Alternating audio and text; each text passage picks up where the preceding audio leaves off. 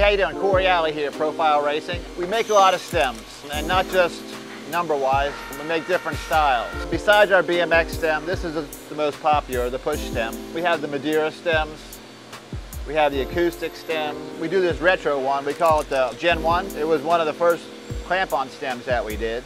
And this is the old, uh, we call it the wedge. This is actually the first stem we made before there was even clamp-on stem. And then there's three mountain bike stems that we make. We call this the helm.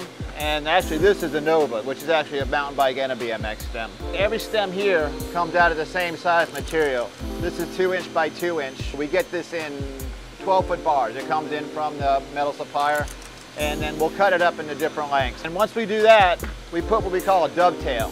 You can see it's cut a 45 degree angle on both sides, and then it has, um, this is a locator pin. So when you put it in the fixture, it'll always be in the same place. They call this just a dovetail fixture. So we'll put it in like this. and tighten it up. Good thing is it's actually in the same position because of the locator pin and is super secure because what it's doing is pushing itself against the 45 degree angle. So you don't have to have any vices or anything to hold it.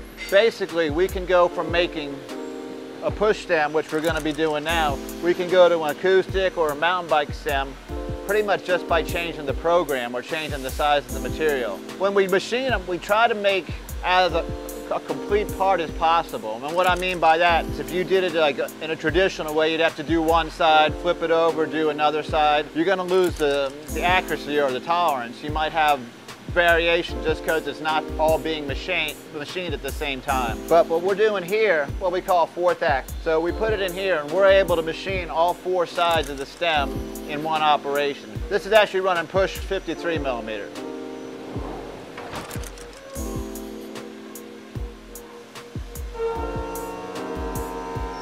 To do, uh, to do two stems, it takes a little, the average is about 20 minutes, so you got about 10 minutes per stem.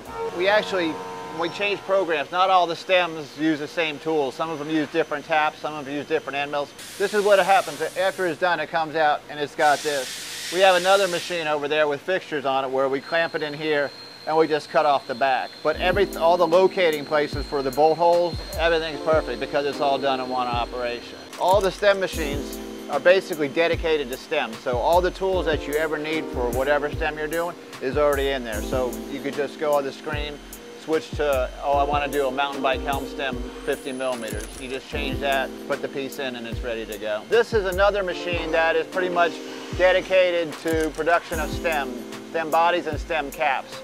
Right now, this one is running the first half of a stem cap, push stem cap actually. So we get the raw bar stock, comes in 12 foot length. We cut it up into whatever length we need it for, and then we run four at a time in um, one of the vices. We have actually four or five different vices in this machine that will do different parts of the stem. It's actually, this machine does the first operation, which puts the dovetail on the blank, and it also does the last operation, which actually is gonna cut off the, uh, the remainder of the material that's left by the, the fourth axis. Machine. We'll do all the front side first, and then we'll change the vice jaws. Like that one says, PSC2, that's push stem cap 2. And they'll fit in here like this. Don't have to change out the whole vice. We just pop off the top and then we put them right back on for whatever stem cap we need.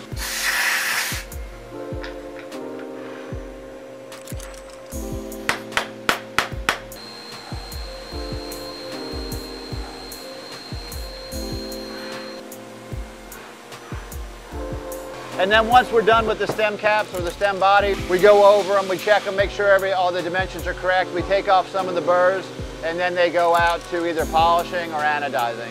That's how we make stems. I mean, we've done it for uh, probably about 15, 20 years now. All our stem products can be seen on our website, www.profileracing.com. It can be seen on the website and down on our store as well.